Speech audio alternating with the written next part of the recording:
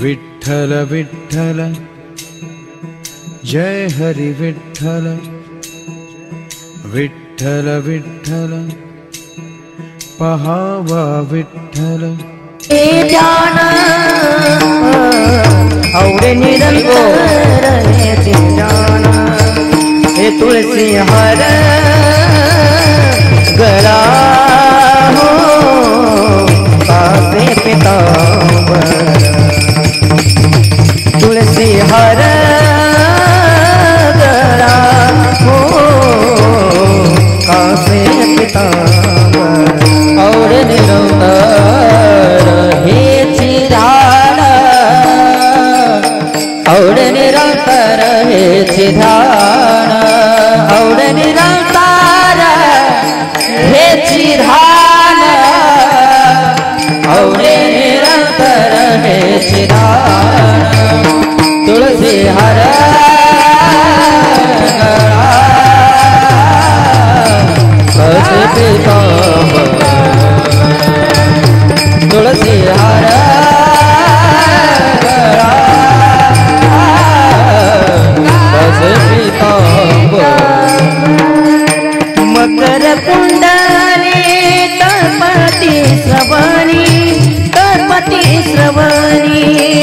मकर कुंडाले तळपती श्रवणी तळपती श्रवणी. कौतुभामणि विराजित कंटिक वस्तु भामणि विराजित कंटिक वस्तु भामणि विराजित कंटिक वस्तु विराजित तुलसी हार गळा हो कासे पितांबर। हे तुळसी हार गळा कासे पिता हो आवडे निरंतर हे चिधा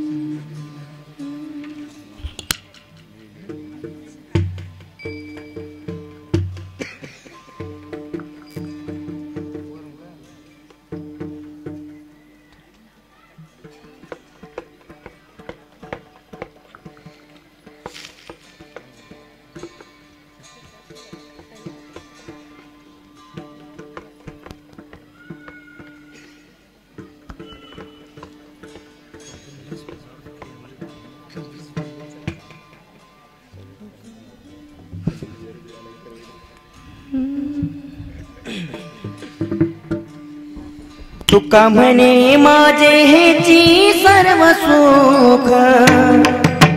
तुका म्हणे माझे हेची सर्व सुख.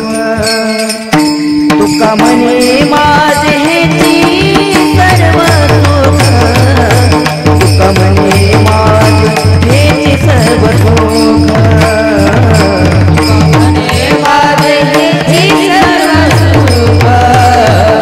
म्हणे माझे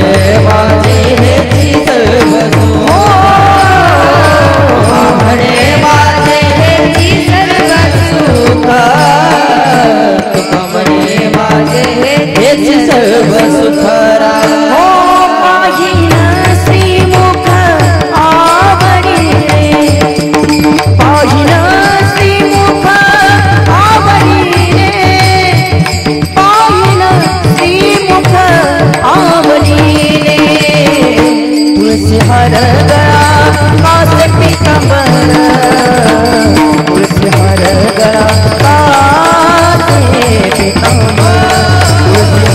गळा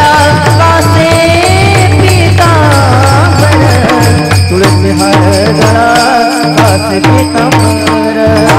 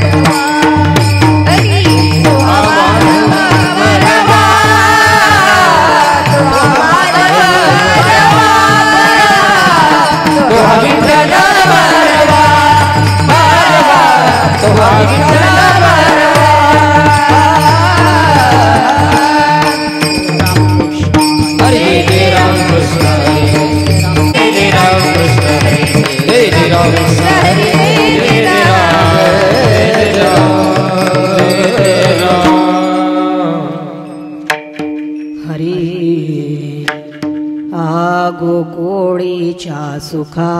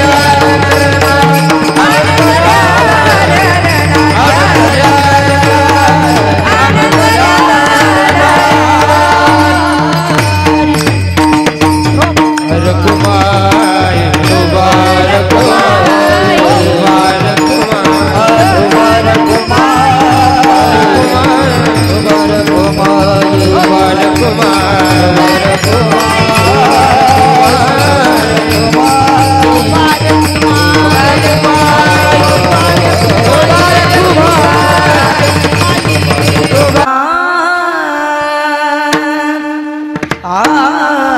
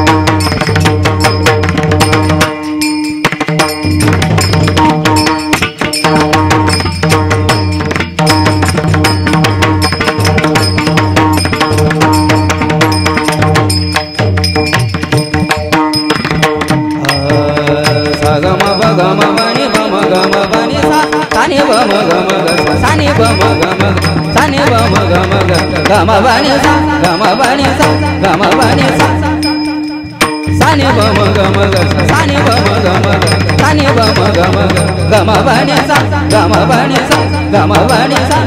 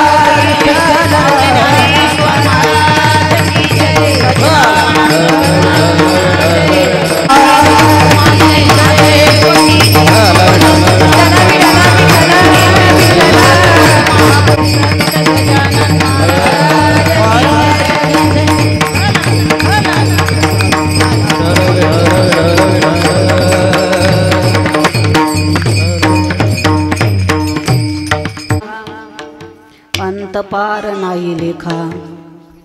बाळकृष्ण नंदा घरी आनंदल्या नरणारी गुडिया तोरणे करती कथा गाती गाणे.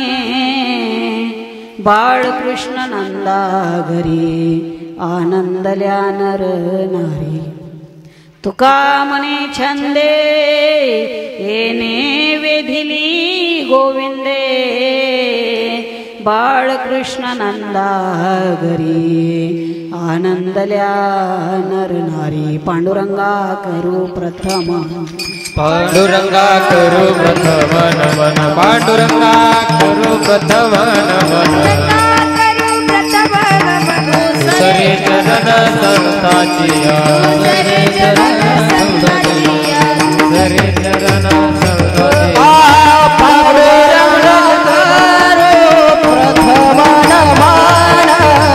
दुसरे चरण संताचिया दुसरे चरण संताचिया दुसरे चरण संताचिया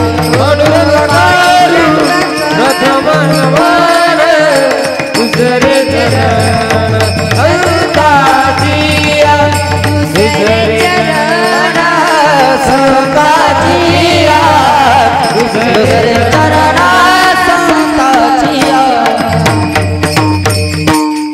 पांडुरंगा करू प्रथम नमन दुसरे चरण संतांची त्यांच्या कृपादाने कथेचा विस्तारू. बाबाजी सद्गुरुदास तुका. ओम नमो ज्ञानेश्वरा करुणा कराया दयाळा. तुमचा अनुग्रह लाधलो पावन झालो चरा चरी चले आओ जी पवन कुमार हमारे हरि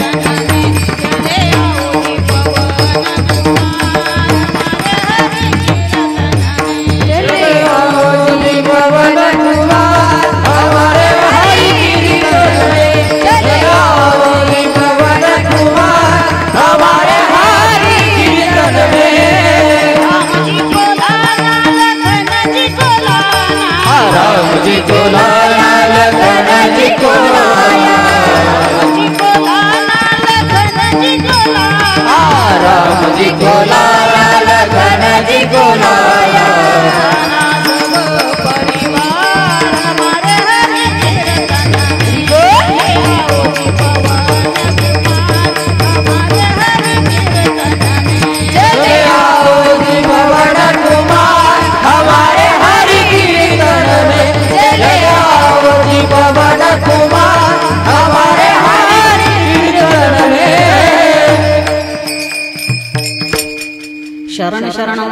मालो रामदूता काय भक्तीच्या त्या वाटा मज दावा सुपटा प्रथम नमन करू गणनाथा उमा शंकराची सुता चरणावरी ठेवणे माथा साष्टांग्याता दंडवतम. दुसरी वंदु सारजा जी चतुराननाची आत्मजा वाक्सिद्धी पाविजे सहजा तिच्या चरण वझा दंडवतम. आता वंदुदेव ब्राह्मण ज्यांचे पुण्य पावन प्रसन्न वौणी श्रोते जन तया माझे नमन दंडवतम. आता वंदु साधु सज्जन नित्य हृदयी हरीचे ध्यान विठ्ठल नाम उच्चारिता जन तया माझे नमन दंडवत आता नमुरंग भूमिका कीर्तनी उभे होती जे लोका टाळ मृदुंग श्रोते देखा तया माझे नमन दंडवत ऐसे नमन करुणी सकळा हरी कथा बोले बोबड्या बोला अज्ञान मनवणे आपुल्या बाळा चालवी सकळा नामा म्हणे विठ्ठल विठ्ठल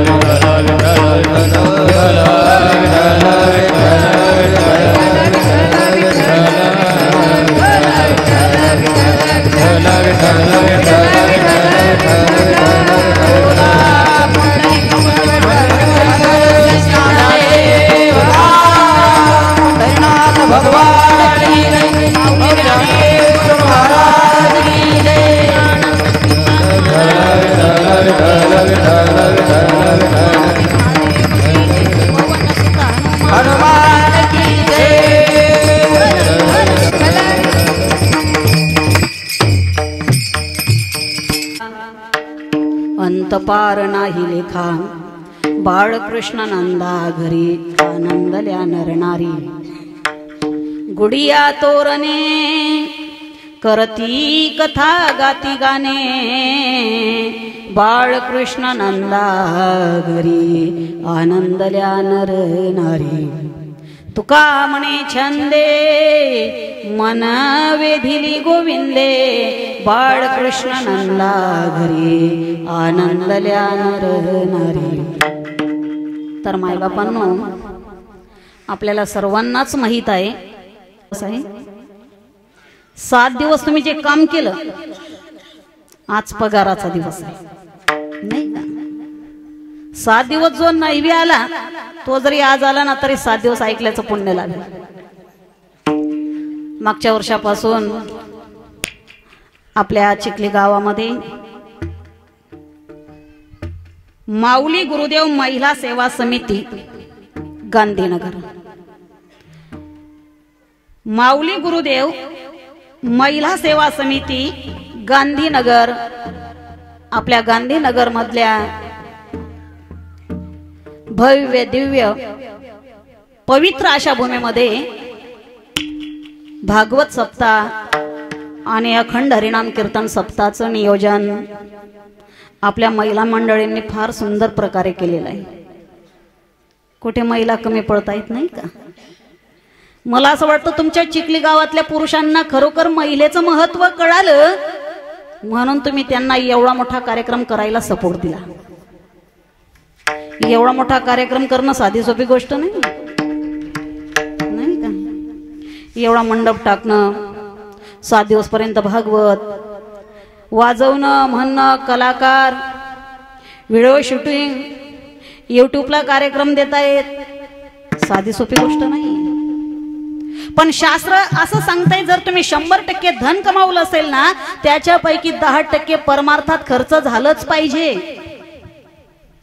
तर ते धन टिकून राहतं आणि त्या धनाची शुद्धता होत असते. आणि तुकोबाराईंनी सांगितल्याप्रमाणे तुम्ही त्या धनाचा उपयोग करतायत इथं जो तुम्ही पैसा खर्च करतायत शारीरिक श्रम करतायत कोणतंही कार्य असो कोणतंच वाया जाणार नाहीये त्याचं फळ तुम्हाला मिळेलच. म्हणून मागच्या वर्षी पण माझं एक कीर्तन झालं सप्तामध्ये याही वर्षी आमच्या हरिभक्त परायण आदरणीय परमपूज्य भागवताचार्य रेणुकाताई जाधव ताईंनी मला चार महिन्यापूर्वी सांगितलं ताई काल्याचं कीर्तन तुमच्याकडे येतंय. आनंदाची गोष्ट आहे ताईंमुळे मला तुमचं चिखले गाव बघायला मिळालं. तसं या भागात माझा काही तेवढा परिचय नाहीच. पण नारी की निंदा मत करो यारो नारी है रतन की खान जिस नारी से जन्म लिए भीष्म राम और हनुमान। या म्हणण्याप्रमाणे तुम्ही महिला मंडळींनी करून दाखवलं। आणि तुम्हाला साथ म्हणजे यांची चांगली हा? कारण की हा खेळ नव्हे एकुल्याचा म्हणून मेळ जमविला। असो भगवान परमात्मा तुम्हाला सगळ्यांना अशीच सद्बुद्धी देत राहू. तुमच्याकडनं असं भगवत कार्य चांगलं सात्विक कार्य देव करून घेऊ हीच देवाच्या चरणी प्रार्थना आहे. पंचक्रोशातील जमलेले समस्त भावी भक्त मंडळ मृदुंगाचार्य दादा नागेश दादा हार्मोनियम वादक हरिभक्त परायण इंगळे महाराज समस्त व्यसणारे टाळकरी भजने मंडळ गायनाचार्य मंडळ या सर्वांच्या सहकार्यानं आणि हरिभक्त परायण रेणुकाताई जाधव यांच्या मार्गदर्शनानं या सप्ताहाचं नियोजन भव्य सुंदर अशा वा सुंदर अशा वातावरणात तुम्ही केलं. आणि आजचा हा काल्याचा प्रसंग. काल्याच्या सेवेकरिता घेतलेला अभंग जगतवंदनीय. वैराग्याचे मूर्तिमंत पुतळे संत तुकोबाराय आणि तुकोबारायांचा काला या प्रसंगातील अभंग मी चार चरणांचा सेवेसाठी घेतलेला आहे विठ्ठल विठ्ठल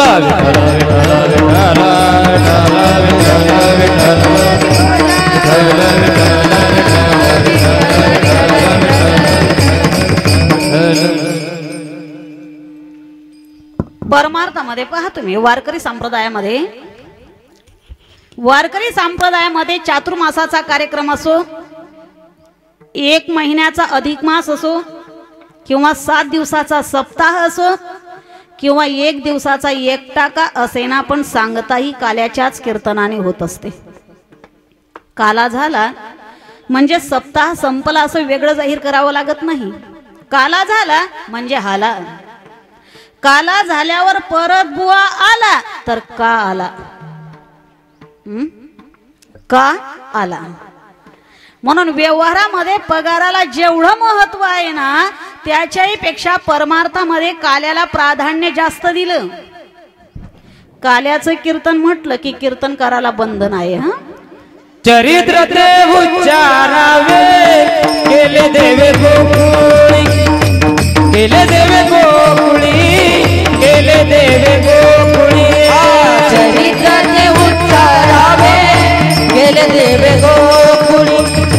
गेले देवे गोळी गेले देवे गोळी उच्चारावे केले देवे गोळी चरित्र ते उच्चारावे गेले देवे गोळी चरित्र ते उच्चारावे केले देवे गोळी चरित्र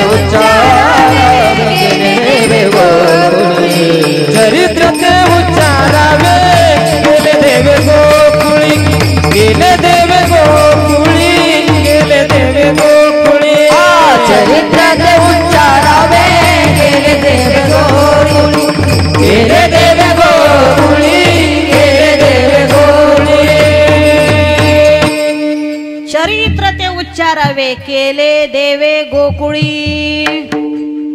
म्हणून कीर्तनकाराला बंधन असतं. काल्याच्या कीर्तनात म्हणजे इतर कीर्तनामध्ये कीर्तनकारानं काही सांगत सुटावं असाही त्याचा अर्थ समजू नका. बाकीच्या दिवशी सुद्धा बाकीच्या कीर्तनामध्ये कीर्तनकारानं दोन गोष्टी कधी सांगू नये. कोणत्या दोन गोष्टी? पहिली गोष्ट म्हणजे राजकारण सांगू नये आणि दुसरी गोष्ट म्हणजे प्रपंचातल्या गप्पा मारू नये. राजकारण का सांगू नये? ते रोज दोन रुपयाच्या पेपरला घरपोच वाचायला मिळतं. ते ऐकण्याकरिता लोक उद्योग टाकून कीर्तनात आलेले नसतात. म्हणून राजकारण सांगू नये. दुसरी गोष्ट प्रपंचातल्या गप्पा मारू नये. प्रपंचातल्या गप्पा का मारू नये? तर महाराजापुढे सर्व प्रापंचिक बसलेले असतात. आणि महाराजापेक्षा प्रपंचातलं पुढच्यांना जास्त कळतं. मग पुन्हा त्यांच्यासमोर प्रपंचातल्या गप्पा मारणं म्हणजे भर पावसात मोठ धरणं ठरतं. म्हणून कीर्तनकाराने दोन गोष्टी सांगू नये. पहिली गोष्ट राजकारण सांगू नये. दुसरी गोष्ट प्रपंचातल्या गप्पा मारू नये. मग काय सांगावं? भक्ती ज्ञान विरहित इतर. भक्ती ज्ञान विरहित इतर. गोष्टी न करा. भक्ती ज्ञान विरहित इतर भक्तिदान विरहित इतर भक्तिदान विरहित इतर गोष्टी न कराव्यात. भक्तिदान विरहित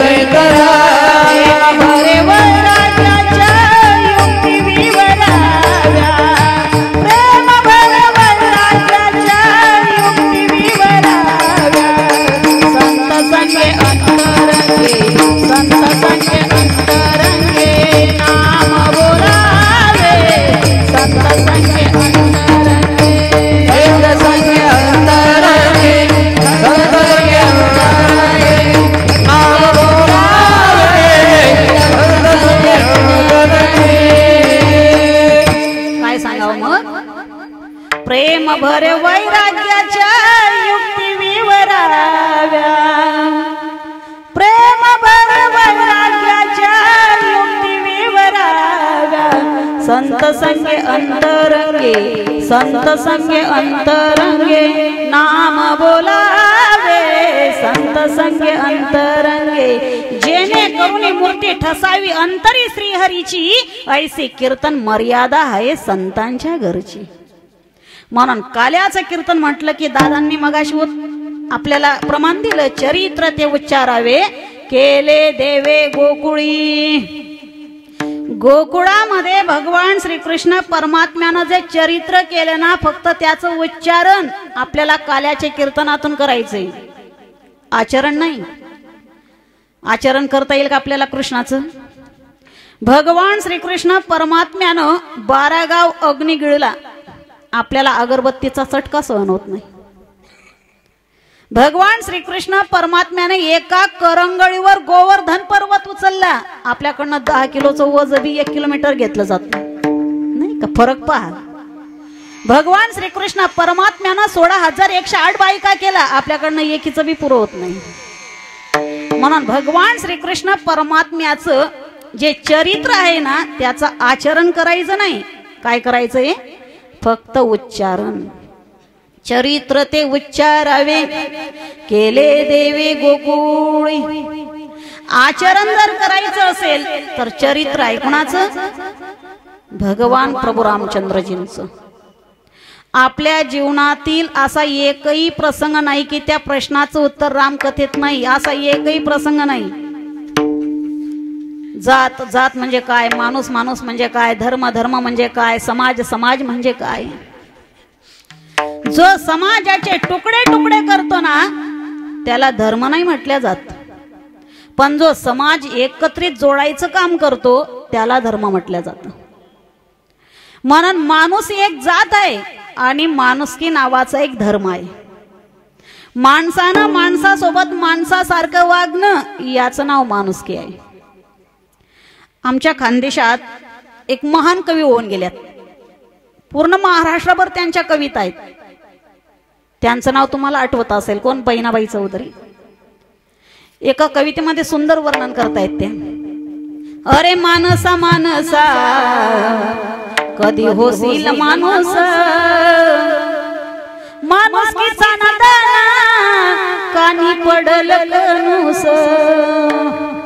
कानी पडलेलं कणूस जसं ज्वारीच्या कणसामध्ये ज्वारीचे दाणे न येता विषारी भुकटी येते आणि ती विषारी भुकटी जशी माणसाला अपायकारक ठरते ना तसा आजच्या काळात माणूसच माणसाला अपायकारक ठरला. अरे मानसा मानसा तू ही नियत बेकार. तू या बर गोठ्यातलं जनावर पहा बहिणाबाई अनपळ होत्या पण सरस्वती त्यांच्या जिभेवर बसली. काय काय सुंदर कविता त्यांच्या. तू ह्या उनी बर गोठ्यात जनावर. गोठ्यातलं जनावर खरंच चांगलं का माणसापेक्षा? हो खरंच चांगलं. जनावरांना जर चारा खादला पाणी पिलं तर ते आपल्याकरिता शेण देतात दूध देतात नाही का? पा वाटल्यास तुम्ही. जनावराचं काही व्हायला जात नाही माणसाचं काही उपयोगाला येत नाही. जनावरांच्या केसांपासून घोंगड्या बनवल्या जातात. आमच्या केसांचं काहीच होत नाही. जनावरांच्या कातड्यापासून जोडे शिवले जातात. आमच्या कातड्याचं काहीच होत नाही. जनावरांच्या हळांपासून खत बनवल्या जातं. आमच्या हळांचं काहीच होत नाही. जनावरांच्या शेणानं घर सारवल्यावर स्वच्छ दिसतं. याला जिलेबी खाऊ घाला तरी काही होत नाही. नाही का? तू ह्या उनी बर गोठ्यातल जनावर. म्हणून नर करणे करे तो नरका नारायण बन जाय नाही का? म्हणून महाराज सांगतात जात जात म्हणजे काय? माणूस माणूस म्हणजे काय? बरं माणसाची जाती कुठपर्यंत आहे? माणसाची जात फक्त त्याच्या घराच्या उंबरठ्यापर्यंत आहे. घराच्या उंबरठ्याच्या बाहेर निघाला की तो हिंदूच आहे. कारण तो या देशात राहतो. या देशातलं अन्न खातो. या देशातलं पाणी पितो या देशातल्या वायू लहरींचा स्वाद चाखून मोठा होत असतो. आपण ते एक राष्ट्रगीत म्हणतो नाही का? हिंद देश के निवासी सभी जन एक है। रंग रूप वेश भाषा चाहे अनेक है। म्हणून माणसाची जात फक्त त्याच्या घराच्या उंबरठ्यापर्यंत आहे. पण घराच्या उंबरठ्याच्या बाहेर निघाला की तो हिंदूच आहे. खेदानं म्हणावं लागतं सांभाळली जनावरांना सोडली माणसानं. खेदानं म्हणावं लागतं पा वाटल्यास तुम्ही वाघ असतो ना वाघ किती भुकेला असू द्या किती भुकेला असू द्या आणि त्या वाघाच्या समोर तुम्ही गवत टाका. किती दिवसात वाघ गवत खातो? खाईल का? नाही. काय खातो मग? मांस खातो मांस. हत्ती किती भुकेला असू द्या कितीही भुकेला असू द्या आणि त्या हत्तीच्या समोर तुम्ही मांस टाका हत्ती मांस खातो का? काय खातो? गवत खातो. वाघ जरी भुक्यानं मरता मरून गेला वाघ गवत खात नाही मांसच खातो. हत्ती जरी भुक्यानं मरता मरून गेला हत्ती मांस खात नाही गवतच खातो. पण माणसं मात्र सगळंच खायला लागले काही पुरत नाही माणसाला.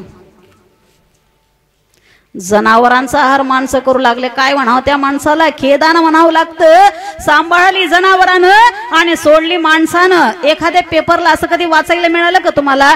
की एखादा वाघ रागात आला आणि क्रोधायमान झालेल्या वाघानं पाच पन्नास वाघ फाडून खाल्ले.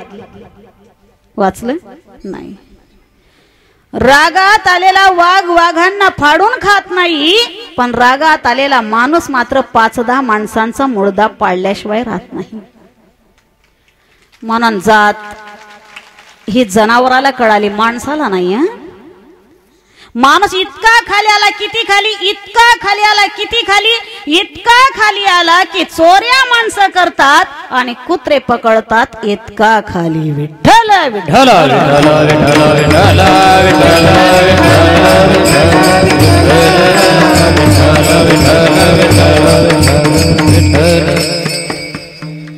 आज समाजामध्ये असं का घडतं? नाही का? एकता संपली समाजातली. जोपर्यंत एकांगी विचार संपत नाही ना तोपर्यंत माणुसकीचं राज्य होऊ शकत नाही. एकांगी विचार जसे विचारत आहे पत्नी पतीला कुठे चाललात तुम्ही? अहो तुम्ही चाललात कुठे? मी ताईसाठी मुलगा बघायला. मग एक लक्षात ठेवा बिगराईचं पहा बिगराईचं. म्हणजे? म्हणजे काय? त्या मुलाला आई नसावी म्हणजे माझ्या ताईला सासू नसावी. आणि तुम्ही? हा मी जिवंत असावी पण माझ्या ताईला सासू नसावी. पण मावशी तुम्हालाही एक मुलगा आहे. आणि त्याचंही लग्न पुढच्या वर्षी होणार आहे. मग पुढच्या वर्षी तुमच्या घरात येणाऱ्या सुनेलाही वाटेल की माझी सासू आधीच विष प्राशन करून मेलेली असावी. म्हणून जोपर्यंत एकांगी विचार संपत नाही ना तोपर्यंत माणुसकीचं राज्य येऊ शकत नाही तोपर्यंत राम राज्य येऊ शकत नाही तोपर्यंत धर्म राज्य येऊ शकत नाही. आणि आज आपल्याला त्या दोन गोष्टींची नितांत गरज आहे. कोणत्या दोन गोष्टींची? सासूला वाटलं पाहिजे ही माझी सून नाही माझी पोटची मुलगी आहे. सुनेला वाटलं पाहिजे ही माझी सासू नाही माझी आई आहे. काय होईल एका वाक्यात उत्तर देते ज्या दिवशी सासूला वाटेल ही माझी सून नाही माझी मुलगी आहे. एकही म्हातारी वृद्धाश्रमात जाणार नाही. आणि ज्या दिवशी सुनेला वाटेल की ही माझी सासू नाही माझी आई आहे आमच्या देशात एकही सून रॉकेल टाकून पेटणार नाही या माणुसकीची गरज आहे. विठ्ठल विठ्ठल.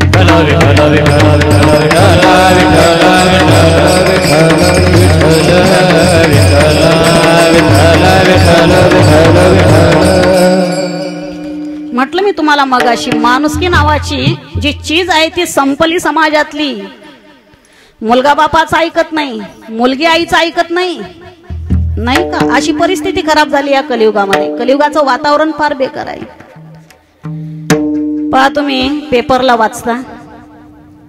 एक मुलगी शाळेत गेली आणि तीन दिवस झाले ती घरी परत आलीच नाही. रोजची बातमी म्हणून तुम्ही ते सोडून देता. पण ज्या घरातली मुलगी गेली त्या घराचं काय? ज्या मायबापाची लेख गेली त्या मायबापाचं काय? ज्या भावाची बहीण गेली त्या भावाचं काय? ज्या कॉलेजातून ती गेली त्या कॉलेजचं काय? जेवढेही मुली या ठिकाणी असतील कीर्तन ऐकून तुम्ही घरी जाणं आपल्या आईला विचारा आई मी जन्माला आली त्यावेळेला कशी दिसत होती ग? हातातली सगळी कामं तुमच्या आई बाजूला ठेवेल तुम्हाला घट्ट मिठी मारेल आणि विचारेल बाळा आज असा प्रश्न का केलास तुम्हाला? तरी विचारा आईला सांग ना गाई मी जन्माला आली त्यावेळेला कशी दिसत होती? माझ्या पप्पांचं माझं नातं काय होतं? त्यावेळेला पाणवलेल्या डोळ्यांनी तुमची आई तुम्हाला सांगेल बाळा तू जन्माला आलीस ना त्यावेळेला हे घर नव्हतं. मी तुला सरकारी दवाखान्यात जन्म दिला. मुलगी झाली हे ज्यावेळेला तुझ्या बापाला कळालं त्यावेळेला तुझ्या बापाच्या खिशात पैसे सुद्धा नव्हते. शंभर रुपये उसने आणले पोरी. जिलेबी आणली. गावात जिलेबी वाटली आणि गावभर सांगत सुटला तुझा बाप मला मुलगी झाली मला लेख झाली माझ्या घरात लक्ष्मी आली. तुम्ही एक वर्षाची झाली. पोरी तू एक वर्षाची झाली. तुझा बाप राब राब राबायचा कावळ कष्ट करायचा थकून बागून तुझ्यासाठी लवकर घरी यायचा. पोटात किती भूक लागली असेल पण चिवचान कावचा पहिला घात चिवचान कावच्या गोष्टी सांगत तुला भरवायचा. तू दोन वर्षाची झालीस पोरी. आणि दोन वर्षाची झाल्यानंतर तुझा बाप तुला खांद्यावर घेऊन गावात फिरवायचा चौकामध्ये जायचा. तुला गलीतली कुत्री दाखवायचा झाडावरची पक्षी दाखवायचा. तुझ्या बापाला लहानपणी खाऊ मिळाला नसेल पण तुला पाहिजे तो खाऊ तुझा बाप दुकानातून घेऊन द्यायचा. तू सहा वर्षाची झालीस पोरी. सहा वर्षाची झालीस तुझं नाव शाळेत टाकलं. पैसे नव्हते उसने पैसे आणले तुला शाळेचा गणवेश आणला. माझी मुलगी नवीन कपड्यातच शाळेत गेली पाहिजे हा तुझ्या बापाचा अट्टहास तू आठ वर्षाची झालीस. तुझा कपडा कुठेतरी थोडासा फाटका दिसला तुझ्या बापाकडनं बघवलं गेलं नाही. मला साडी घेताना तुझा बाप हजारदा विचार करतो. स्वतः जुनी पुराणी कपडे वापरतो. पण तुला मात्र नवीन कपडे घेऊन दिले. माझी मुलगी नवीन कपड्यात शोभून दिसते. माझी मुलगी माझ्या घराची इज्जत आहे. माझी मुलगी माझ्या घराची अब्रू आहे. तुझ्या बापानं तुला नवीन ड्रेस घेऊन दिला. तू नववीत गेलीस पुरी. नववीत गेल्यानंतर तू बापाला सांगू लागली पप्पा माझ्या मैत्रिणीकडे मेकअपचा सामान आहे मला मेकअप मेकअपचा सामान घेऊन द्या. माझ्या मैत्रिणीकडे ऐलचा सँडल आहे तो सँडल मला घेऊन द्या. तुझ्या बापानं उसने पैसे घेतले तुला मेकअप मेकअपचा सामान आणला पोरी. स्वतः मात्र आंघोळीचा साबण दाढीला लावतो पण तुला मेकअपचा सामान आणून दिला. स्वतः मात्र तुटलेली चप्पल झिजे पर्यंत वापरतो तुझा बाप पण तुला अहिलचा सँडल घेऊन दिला पोरी. तो दहावीला गेलीस तुला असं वाटतं मी तुझी आई आहे तुझ्या समोर रडून दाखवते तुझा बाप रडत नाहीस असंच ना? अगर रात्रीच्या दीड दोन वाजेच्या सुमारास तू डोकावून बघ तुझ्या बापाची उशी अंथरुणावर कशाने ओली होती पोरी? फक्त तुझ्या आठवणीने. फक्त तुझ्या आठवणीने. तो दहावीला गेलीस तुझी फी भरण्यासाठी पैसे नव्हते. तुझ्या बापानं उसने पैसे घेतले. कितीतरी दा तुझ्यासाठी तुझ्या बापानं कर्ज केलं. तू कॉलेजला जाऊ लागलीस तुझ्या पप्पाला सांगू लागलीस पप्पा माझ्या मैत्रिणीकडे स्मार्टचा फोन आहे मला स्पॉट स्मार्टचा फोन घेऊन द्या. तुझ्या पप्पाजवळ पैसे नव्हते सोसायटी मधून दहा हजार रुपये कर्ज काढलं. तुझ्या बापानं ते म्हणतात ना स्मार्ट नावाचं ते डबळ तुला घेऊन दिलं. तू कॉलेजला जाऊ लागलीस दररोजचा टाइम होता तुझा दोन वाजेचा घरी यायचा. एक दिवस तू दोनही वाजून गेले तरी घरी आलं येत नाही. तुझ्या आई बापाला फोन करून सांगू लागले अहो अजून आपली सोनू घरी आली नाही. येईल थांब पाच वाजता. पाच वाजले तरी सोनूचा तपास नाही. आईनं भावाला सांगितलं भाऊ गावभर पाहत सुटला हिंडत सुटला मैत्रिणींकडे गेला विचारू लागला. माझी ताई बघितलीस का? माझी ताई आलीस का? एक म्हणू लागली आज ती कॉलेजला आलीच नाही. दुसरी म्हणू लागली ती कुणाच्या तरी गाडीवर बसून निघून गेली. संध्याकाळ झाली तिघ घरी एकत्रित आले. आई वडील भाऊ.